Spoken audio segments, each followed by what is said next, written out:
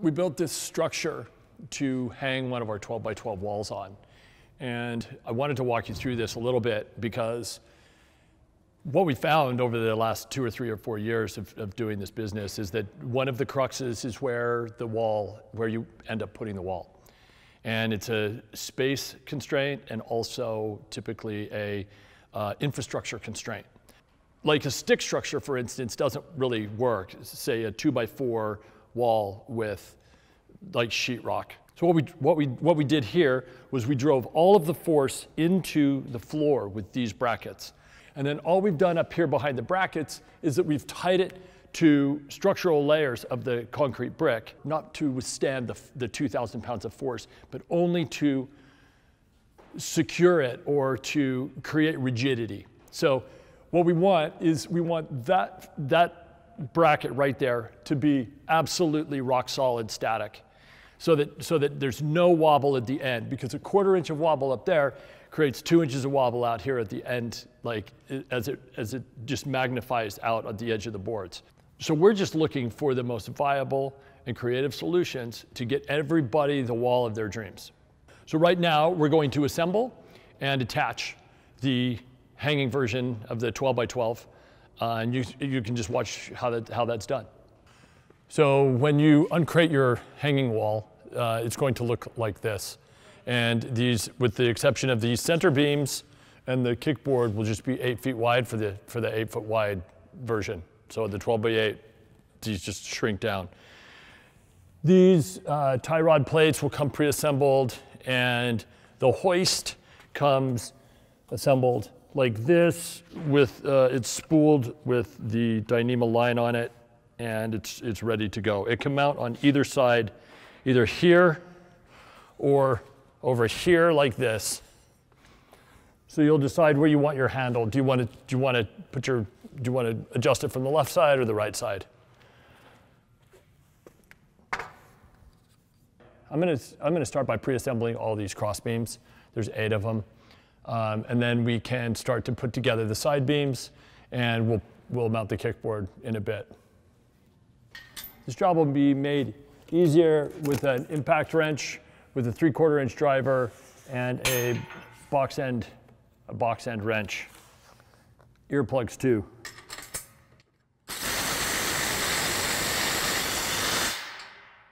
So now we've done kind of uh, the most tedious part, just getting those center beams pre-assembled.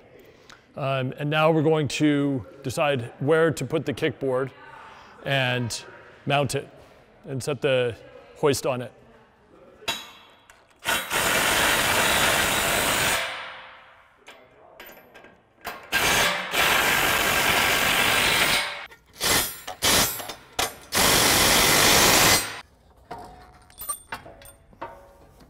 So this goes on, you just match that little notch right here, and the handle goes on. Then you can tighten it wherever you want. That'll just be on standby until we start hanging stuff. So these, these pills are a little bit oblong, these pill-shaped holes. So where I just put the, Hoyt, the kickboard, I put it down as low as it can go. It could also mount up into these holes. So your kickboard could be up here if you wanted it. We just want it low here. So if, uh, and these, these holes adjust, it allows this to go up a little, up and down a little bit. So now's the time to check this with a level and make sure that you're, now's the time to level it basically.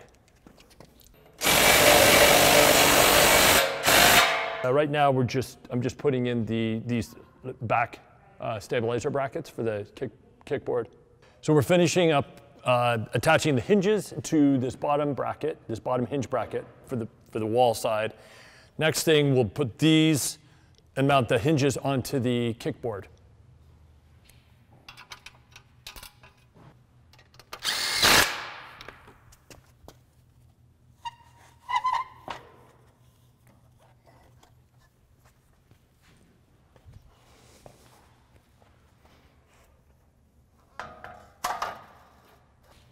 So we're just making sure that this is all square right now, um, away from the wall. So this is one of the critical things that you want to look for when you're mounting the hanging version. And you want the hoist to basically come straight up to this and not have it over here hanging or over here so that the hoist actually spools evenly. So we finished bolting the, the framework down to the ground. We suggest that if you don't really know how to put concrete anchors in, you, you get a, a general contractor or somebody that does. Um, so, so that everything is super secure.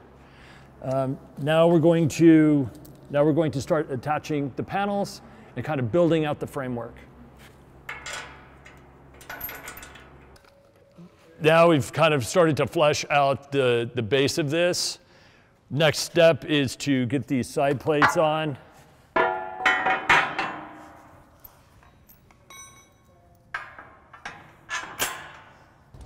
As you're putting these parts together, this plate on, um, keep everything loose. Make sure that everything is um, fitting before anything gets tightened down. It's, this is a crucial spot right here. This plate um, connects the two side plates and also where the Dyneema fits onto the board. And so everything is tied together. So just keep everything loose. Let's fit it all together and then, and then we'll tighten it down after. So this is about, this is where we want to leave this for a second. We're going to go do the other side. Leave all of this finger tight. Um, this is about as, this is most of the complexity kind of taken care of here. We're going to go over and do the same thing over here. And then we're just going to system, systematically build it out a little bit more and then finally put the rest of the cross beams on the top. Then the thing's ready to hang, and you put wood on it, then your holds, you're done. So we just assembled, we fully finished the other side, it's cranked down, it's ready to go. Now we're gonna come back here, these are still loose, we're going to attach the attachment point for the Dyneema and raise the thing into place.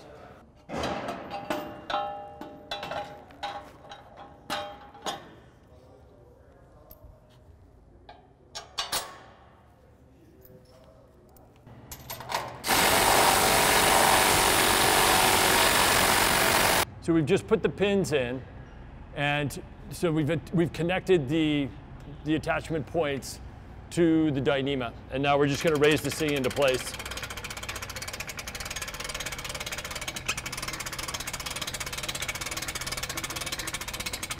So now we've raised the wall into place. You can see it's basically all the structure is there. We're gonna put the wood on next. What I notice is that the Dyneema is a little bit too long for this installation. We took this from our old shop. And so we'll, we'll adjust this by tying new knots. So the way I'm going to do this is I'm going to raise this up as high as I can. I'm going to then use some, uh, some come-alongs or some uh, ratchet straps to tie it into place so that it's safe. To loosen these, and then I'm going to retie them when it's, this is about 55 degrees, I'll probably lower it down to 60, and at 60, deg at 60 degrees, I want this paw to be up near the top. So it'll, it, it will, it will, I believe it, with this distance, we'll get probably 45 or 50 degrees of adjustment. So now we've, we've repositioned the rigging paw to be kind of in the middle. This is probably about 30, 30 degrees. So the rigging paw is now in the middle of where we want our climbing to be generally. This is made to equalize. Did a pretty good job on this one, it's dead flat.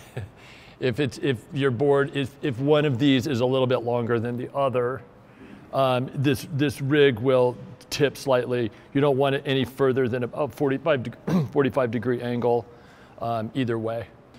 So we're in the middle of installing the wood panels. Um, this process, it's going to work. It's a little bit like uh, tuning spokes on a, on a wheel. So there's, you're gonna, we're, it's going, everything should be tight when you go to put the wood on.